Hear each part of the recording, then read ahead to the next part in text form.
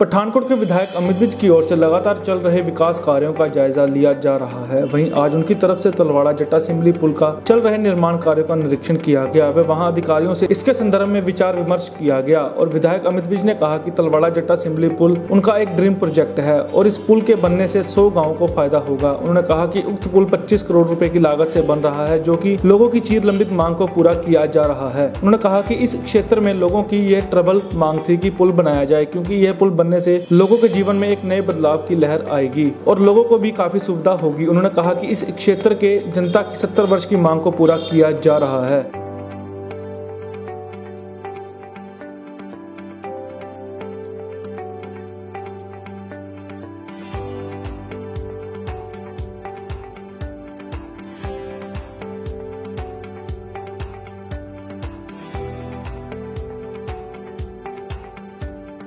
ਅੱਜ ਅਸੀਂ ਤਲਵਾੜਾ ਜੱਟਾਂ ਸਿੰਬਲੀ ਗੁਜਰਾ ਜਿਹੜਾ ਬ੍ਰਿਜ ਬਣ ਰਿਹਾ ਉੱਥੇ ਆਏ ਆ ਉਹਦੇ ਵਿੱਚ ਮੇਰੇ ਨਾਲ ਪੀਡਬਲਯੂਡੀ ਦੇ ਆਫੀਸਰਸ ਤੇ ਕੰਟਰੈਕਟਰ ਨੇ।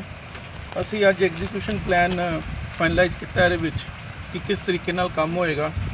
ਇਹਦੇ ਵਿੱਚ ਜਿਹੜੇ ਪੀਅਰ ਪੈਨੇ ਨੇ, ਸਾਡੇ ਚਾਰ ਪੀਅਰ ਤੇ ਆਲਰੇਡੀ ਇਹ 'ਚ ਪੈ ਚੁੱਕੇ ਦੇ ਨੇ ਤੇ ਇੱਕ ਅਬਟਮੈਂਟ ਤੇ ਇਹਨਾਂ ਕੋਲੋਂ ਮੈਂ ਸ਼ਡਿਊਲ ਰਿਹਾ ਪੂਰਾ, ਕਿਉਂਕਿ ਮੈਨੂੰ ਇਹ ਸੀਐਮ ਸਾਹਿਬ ਨਾਲ ਵੀ ਸ਼ੇਅਰ ਕਰਨਾ, ਮੇਰੀ ਉਹਨਾਂ ਨਾਲ ਗੱਲ ਹੋਈ ਸੀ ਤੇ ਮੇਰੇ ਮਿਨਿਸਟਰ ਸਾਹਿਬ ਨਾਲ ਵੀ ਸ਼ੇਅਰ ਕਰਾਂਗਾ ਕਿ ਫਾਈਨਲ ਐਗਜ਼ੀਕਿਊਸ਼ਨ ਜਿਹੜਾ ਸਾਡਾ ਪਲਾਨਡ ਹੋਇਆ, ਜਿਸ ਤਰੀਕੇ ਨਾਲ ਮੈਂ ਪ੍ਰੋਗਰੈਸ ਵੀ ਚੈੱਕ ਕੀਤੀ ਹੈ, ਇਹ ਮਾਰਚ ਐਂਡ ਤੱਕ ਪੁਲ ਬਣ ਕੇ ਚਾਲੂ ਹੋ ਜਾਏਗਾ ਤਾਂ ਕਿ ਲੋਕਾਂ ਨੂੰ ਇਹ ਪੁਲ ਯੂਜ਼ ਕਰਨ ਵਾਸਤੇ ਅਸੀਂ ਸਰਵਿਸਿਜ਼ ਵਾਸਤੇ ਦੇ ਦਈਏ।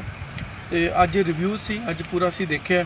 ਤੇ ਵੀਕਲੀ ਪ੍ਰੋਗਰੈਸ ਕੰਟਰੈਕਟਰ ਸਾਹਿਬ ਨਾਲ ਤੇ ਮੈਂ ਪੀਡਬਲਯੂ ਦੀ ਅਫੀਸ਼ੀਅਲਸ ਉਹਨਾਂ ਨਾਲ ਫਾਈਨਲਾਈਜ਼ ਕੀਤੀ ਹੈ। ਤੇ ਹਰ ਵੀਕ ਇਹਦਾ ਪ੍ਰੋਗਰੈਸ ਲੈ ਕੇ ਦੇਖਿਆ ਕਰਾਂਗੇ। ਤਾਂ ਕਿ ਜੇ ਬਾਈ ਚਾਂਸ ਕਿਤੇ ਗੈਪ ਪੈਂਦਾ ਹੈ, ਕਿ ਪ੍ਰੋਗਰੈਸ ਘਟਦੀ ਹੈ, ਤਾਂ ਉਹਨੂੰ ਕਿਸ ਤਰ੍ਹਾਂ ਇੰਪਰੂਵ ਕਰਨਾ ਹੈ, ਸਾਡਾ ਐਂਡ ਆਬਜੈਕਟਿਵ ਹੈ ਕਿ ਮਾਰਚ 2021 ਤੱਕ ਇਹ ਪੁਲ ਬਣ ਕੇ ਚਾਲੂ ਹੋ ਜਾਏ। ਪਠਾਨਕੋਟ ਤੋਂ ਕੈਮਰਾਮੈਨ ਅਭਿਸ਼ੇਕ ਭਾਰਦਵਾਜ ਦੇ ਨਾਲ ਅਜੇ ਸੈਨ ਦੀ ਰਿਪੋਰਟ।